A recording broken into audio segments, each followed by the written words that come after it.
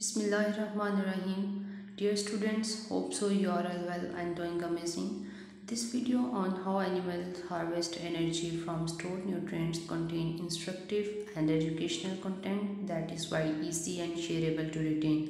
So let's start. Our main topic is how animals harvest energy from stored nutrients.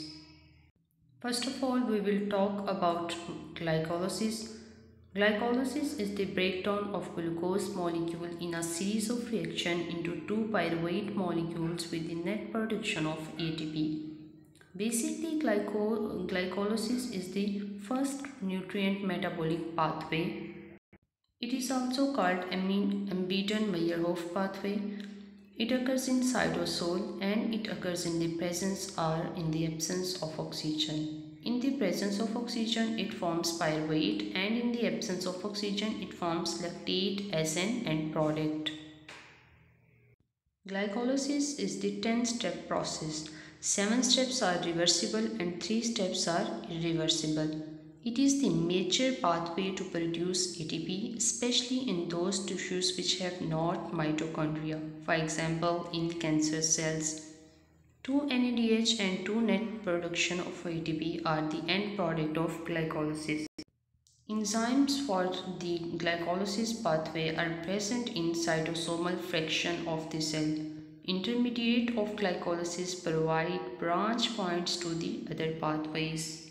This diagram shows how glucose molecule is breakdown into two pyruvate molecules within a series of reaction by use of enzymes. Each enzyme is specific for its own function. So first of all glucose molecule is converted into glucose 6-phosphate which is converted into fructose 6-phosphate and fructose 6-phosphate is converted into fructose 1,6-phosphate. Fructose 1,6-phosphate is further converted into two molecules. The first one is glyceraldehyde 3-phosphate and the second one is dihydroxyacetone phosphate. These two molecules are basically isomers to each other. Glyceraldehyde 3-phosphate is further converted into 1,3-biphosphoglycerate which is further converted into 3-phosphoglycerate. 3-phosphoglycerate is converted into 2-phosphoglycerate which is further converted into 2-phosphoenolpyruvate. This 2-phosphoenolpyruvate is further converted into 2 pyruvates. Here, the four ATP molecules are generated by which two ATP molecules are reused in this and two net ATP molecules are produced as an end product and two NADH molecules is also produced as an end product. Now we will study about fermentation. Fermentation is the metabolic process which converts sugar into acid, gases or alcohols. Louis Pasteur was the first person who used this term first time. In fermentation, glucose molecule is breakdown anaerobically or in the absence of oxygen. Fermentation basically occurs in the yeast, bacteria and in muscle cells. Lactic acid, alcohol, vinegar, yogurt, cheese are the products of fermentation.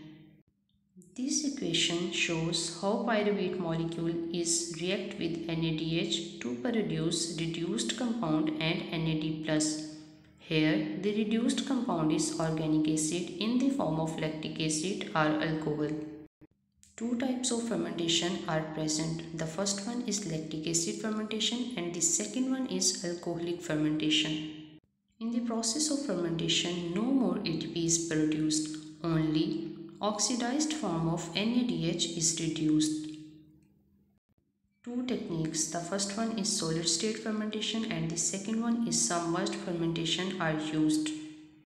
This diagram shows how, how pyruvate molecule in the process of glycolysis undergoes in the fermentation which might be lactic acid fermentation or alcoholic fermentation.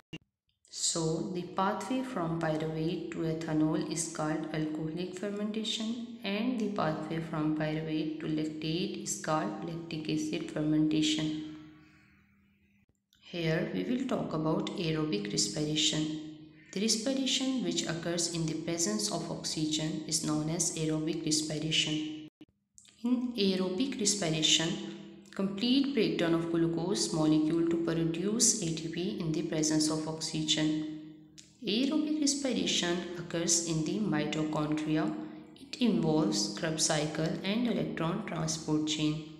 This equation shows that how glucose molecule is converted into carbon uh, dioxide, water and ATP molecule in the presence of oxygen large amount of energy produced in the form of ATP in aerobic respiration.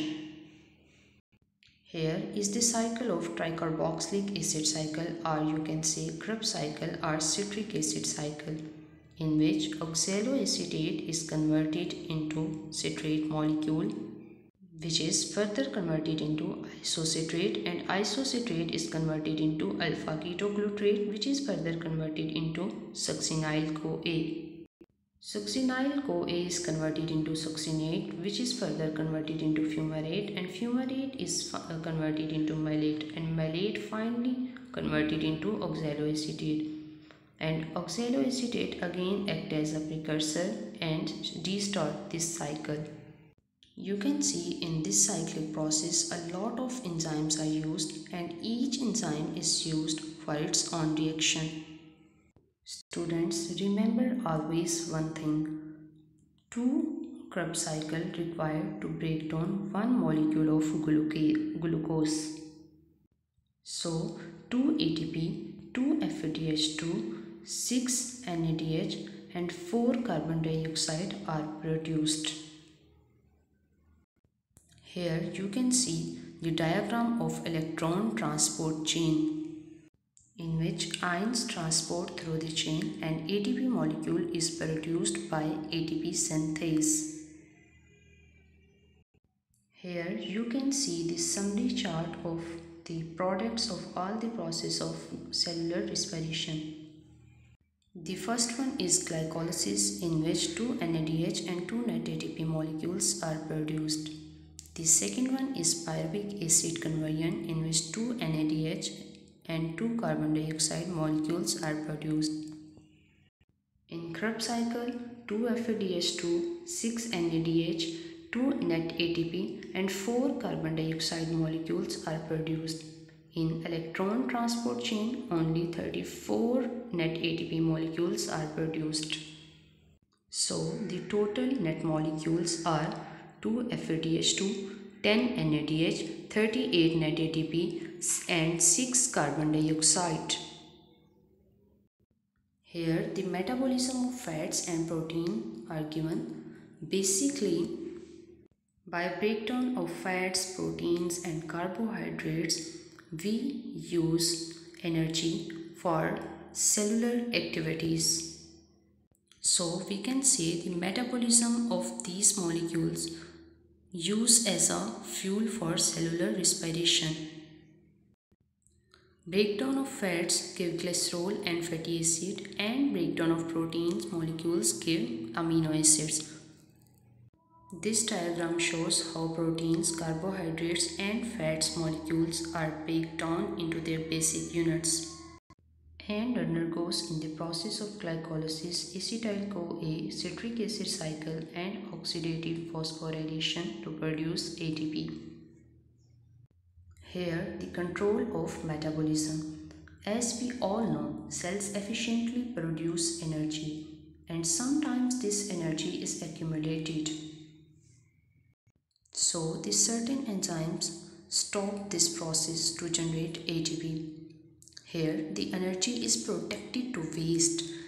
End product inhibition mechanism is also used for this purpose. Control of, in control of metabolism, synchronize the rates of glycolysis and Krebs cycle. This flowchart shows how a certain enzyme which is phosphofructokinase regulate the metabolic, metabolic pathway by increasing and decreasing its, respo its response to signal. Now the last one is metabolic pool. The diagram shows how the food which might be polysaccharide, fats and proteins is converted into their basic units and how these units passes into glycolysis acetyl-CoA Krebs cycle and electron transport chain to produce ATP molecule. Basically, this metabolic pool maintain a balance between catabolism and anabolism and it also maintain homeostasis. This metabolic pool supply material for cellular activities. Thank you so much guys to listen me so patiently.